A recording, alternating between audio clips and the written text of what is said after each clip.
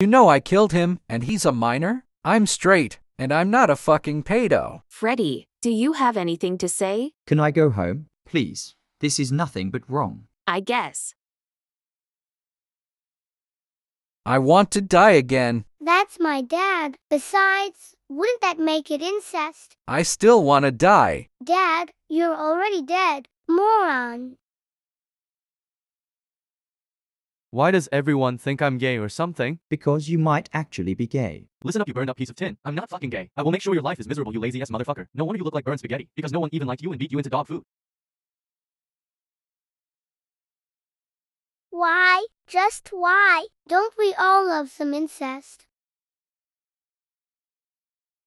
Yeah. Fuck no. I don't think Willie is a softie. Or is he? Fuck no. I'm not a softie, you bitch. So I guess he's not a softie. I personally see him more as a friend. Well, I can say the same. At least you don't hate me. Nah, bro. We are like siblings. At least we can agree on something.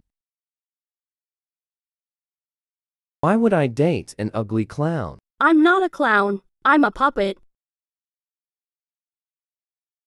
I see Mangle more like a sister. Yeah, she's a good sister. Why? I'm straight. Freddy, we're both straight dumbers.